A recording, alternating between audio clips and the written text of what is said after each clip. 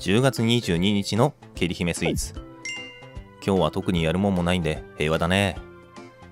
ザクザク堂とかプラチナの贈り物とかはあるけどもそれはこの時間のは終わらしちゃいました。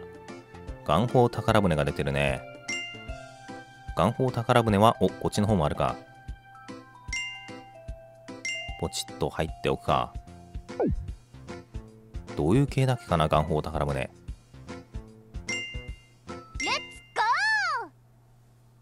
どういう系でも。まあ先生術師もいるし。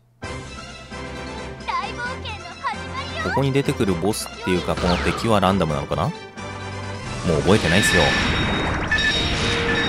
でこういうところであ1700万。すげえな。こんな一瞬で簡単で。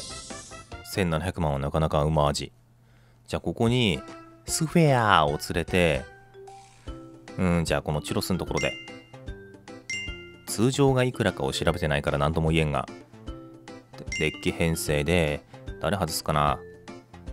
ちょっとジャド地面に下がっといてもらおう。どこだ？いくす玉とスフィア。どっちの率の方がいいかな？じゃあスフィアをとりあえず入れてみよう。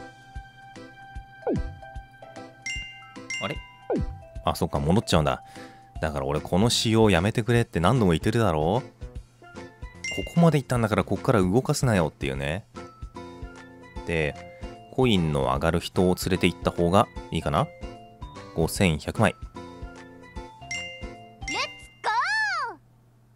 あそこで1700万、きびだんごで1700万だったから通常だと、うん、まあ1000、1000何百万個はいくかなちなみにスフィアを蹴ると死ぬんだよね確か。攻撃だけして、まあ、レベル1なんでね。そんで自分も順消え去る。防犯が密集してるから楽々だね。そんなに考えてても。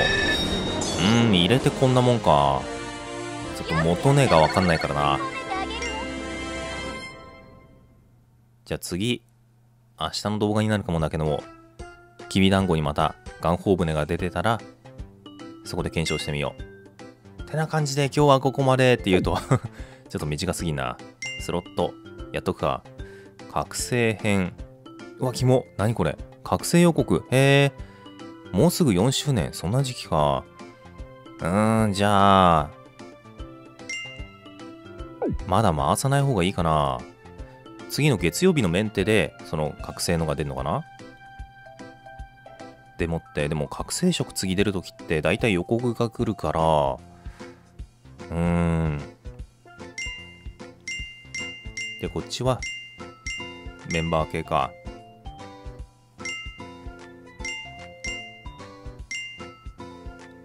うーん一回回しちゃうかな。覚醒武器が入ってるからいいやもう2回回しちゃえ。たった2回だしな。やめろそんな。そんなパッパラーって全然めでたくないぞ。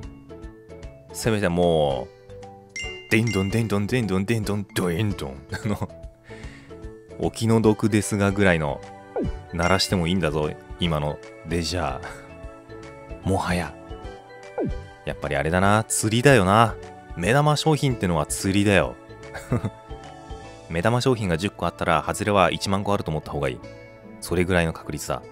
でもケリ姫のガチャやってるとフェイトの方のガチャと比べるとまだね柔らかく見えるというかあっちの方が出ないからな。金色が出たら行幸というかそんぐらいだし。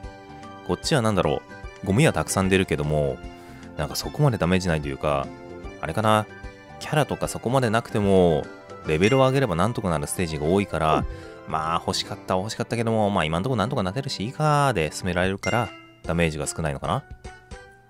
ってな感じで今日もいつも通りのケリ姫のガチャでした。そんなわけでまた明日。動画のご視聴ありがとうございました。よかったらチャンネル登録をよろしくお願いします。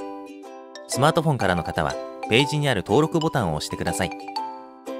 PC からの方はこちらのリンクからどうぞ。動画を気に入ってくれたら高評価ボタンやコメントもよろしくお願いします。他の動画でもぜひよろしくお願いします。それではまた別の動画でお会いしましょう。